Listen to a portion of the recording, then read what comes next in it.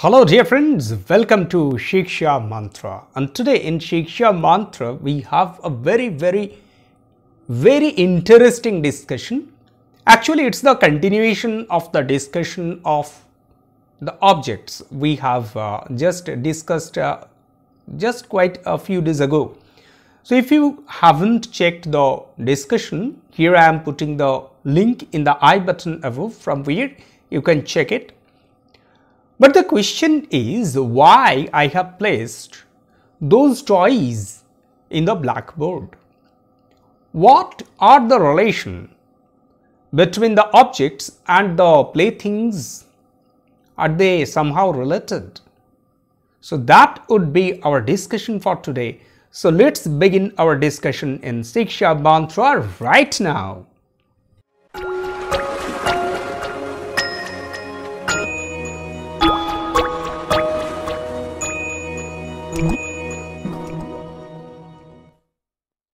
Yes, dear friends, objects, as we have already learned, it's, it's so very important for our learning of English grammar that without the proper concept of the object, it's very difficult for us to proceed. But how objects are related to the toys? That's the question which we will find the answer for. If you consider the objects,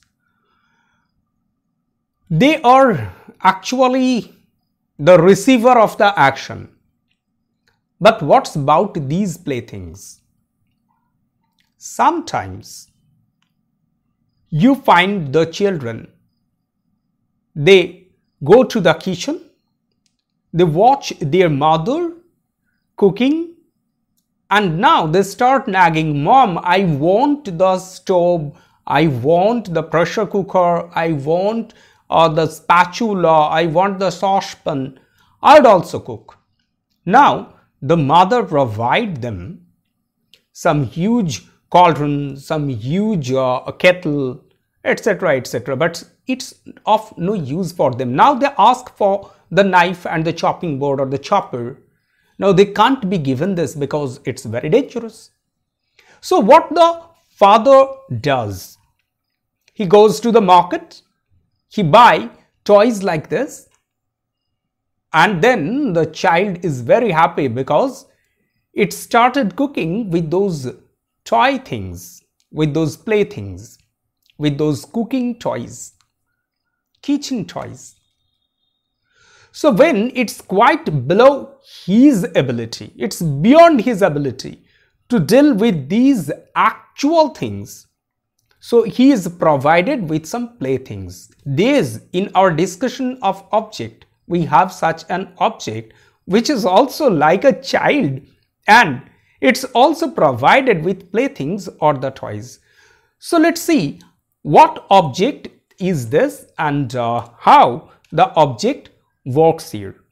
Yes dear friends, if I write down a sentence like this, he slept now you'll see that there the verb slept.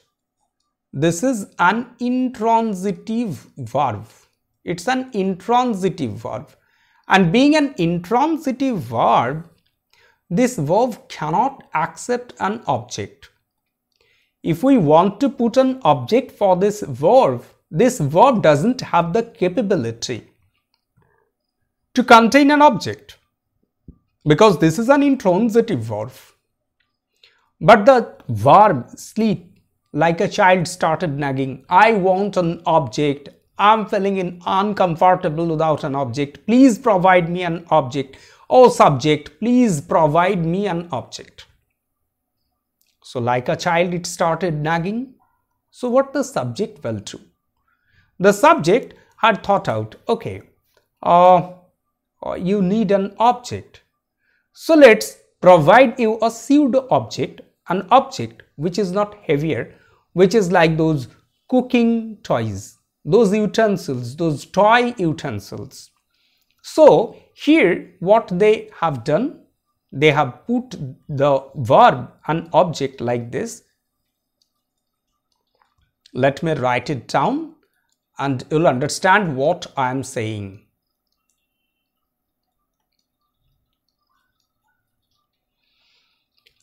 So what the uh, what's the object here? The object is sleep. This object they have provided him. Now if you look at it, what's the speciality about this object?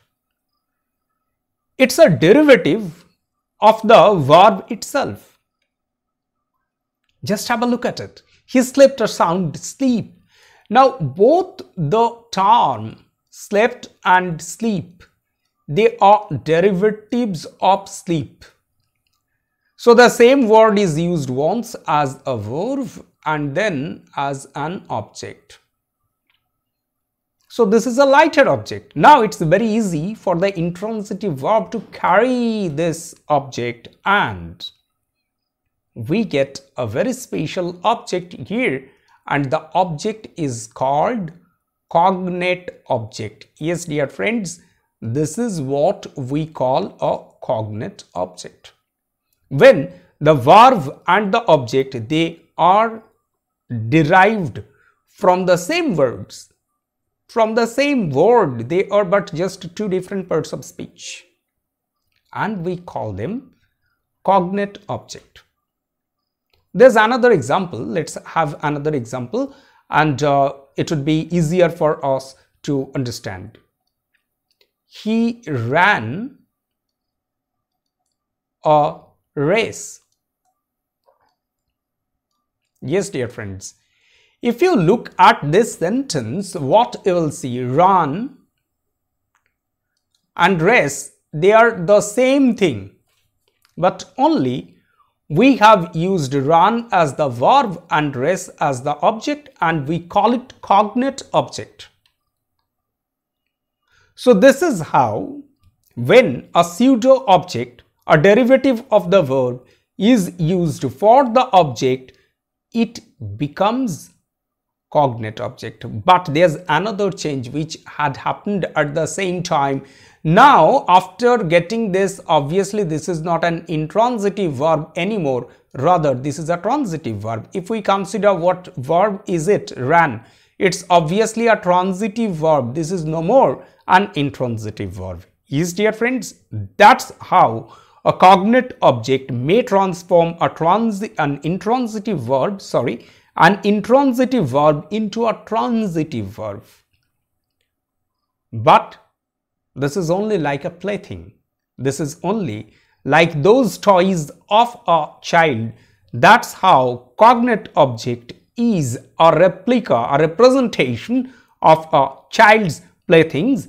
That's all for today. We are returning very soon with many, many such interesting discussion on English grammar. So stay tuned with us. We are returning very soon. Till then, bye bye. Happy learning.